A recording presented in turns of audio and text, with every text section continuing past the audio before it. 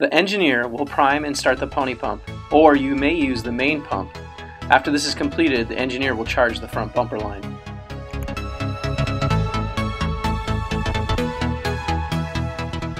The engineer may then stage the desired tool at the front bumper.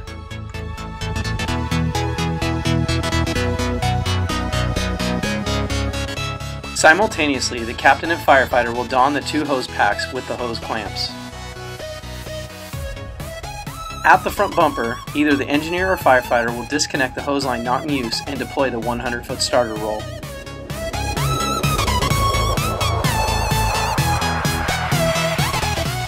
Then the engineer or captain will charge the line and the firefighter will check the pressure, set the stream, and create an anchor point. The backup firefighter will remain approximately 10 feet behind the nozzle firefighter.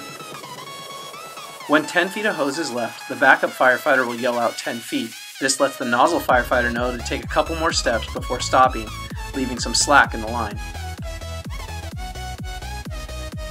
The nozzle firefighter will knock down fire ahead as well as cool the working area if needed, and then conserve water. Simultaneously, the backup firefighter will assist the nozzle firefighter with the hose's removal. The backup firefighter will deploy the hose, then yell out clamping, and then clamp the line. Clamping should take place near where the hose meets the ground.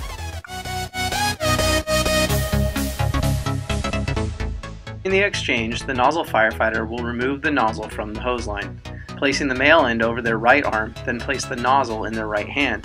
This will leave their left hand open to receive the male end of the next hose. The backup firefighter will separate the next hose line and hand the male end to the nozzle firefighter's left hand. Then grasp the male end from the arm of the nozzle firefighter. Both will then make their connections. Once you are complete with your connection, you will call out water 1. The next person will call out water 2. Once either person calls out water 2, this indicates to charge the line and the clamp is removed. The line is then advanced and the exchange repeated.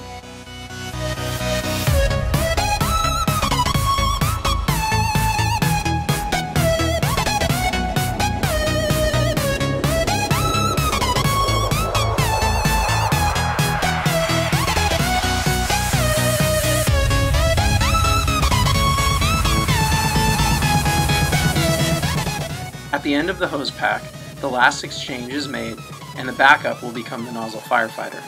The new backup will then charge the line.